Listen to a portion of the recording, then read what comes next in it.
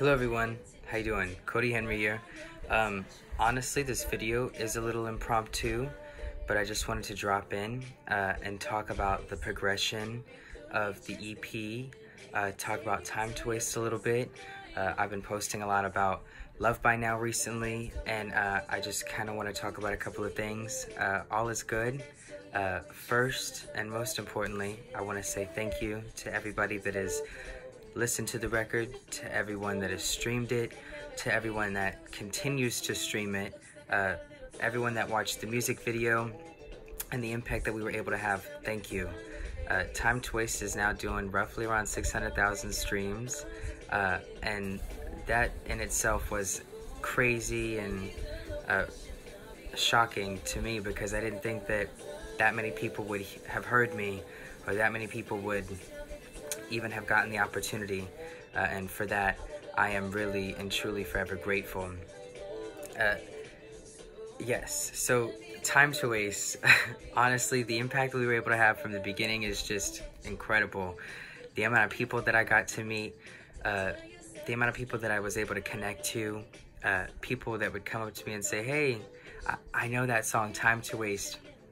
It meant a lot to me because a piece of me uh, became a part of the music, especially during the recording process for this record uh, and the project in particular. Uh, but what I, what I really am excited for is where we're going, and that's Love by Now. And Love by Now truly uh, just is is that you know we could have been in in love by now. You know, it, it there could. It, it's about the one that got away, and and and you know, there's a summer love, and I know we all have one or have had one, or know that there's somebody that we're like, man, that's the person that I could have been with, or I, have lost my chance. But that that is what love by now is about, and even even down to the beginning, it, it could have been you, it could have been me, it could have been us, it could have been we. You know, those lyrics uh, are so important because they're, meaningful and and most importantly, I feel that they're, they're forever relatable.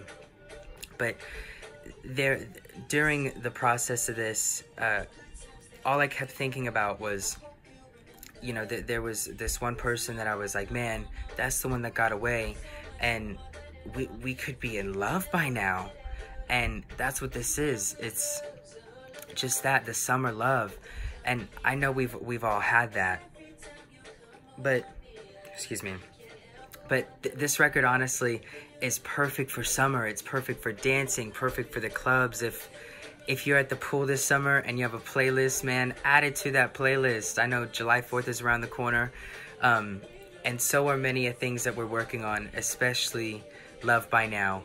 Uh, and I just want you guys to know that it is around the corner. Perfection takes time. And uh, I appreciate you guys for listening to me up to this point and uh, I'll forever be grateful. So thank you so much.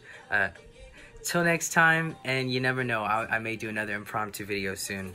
You guys have a good day.